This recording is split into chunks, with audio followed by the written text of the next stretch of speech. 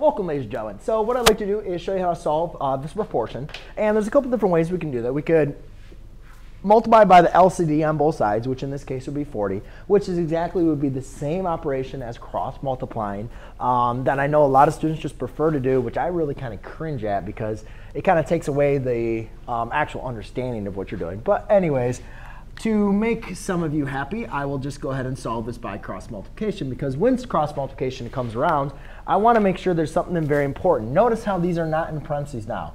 But if I'm going to multiply 5 times this expression, right, because that's basically what you're doing. It's 5 times this expression. I cannot write it like this.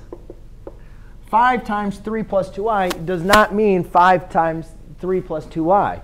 That kind of sounds weird. You have to use your parentheses, right? It's 5 times 3 and it's 5 times 2y equal to 8 times 1 minus y, okay?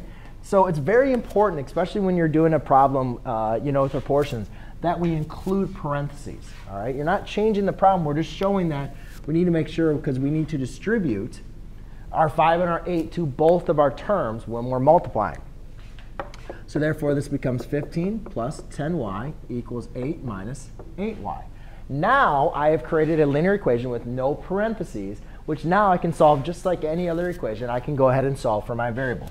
So to do that, I'll add an 8y onto both sides. OK, so now I've added an 8y to both sides. So I have 15 equals 18y equals 8. Now, to solve for y, whoa, whoa, whoa, what did I do? This is 15 plus 8y.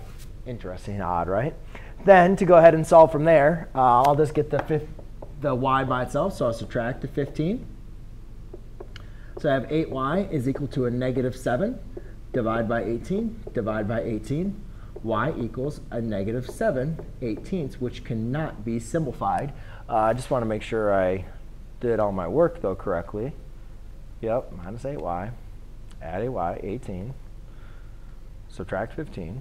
Negative 7. Very good. So there's your solution. Thanks.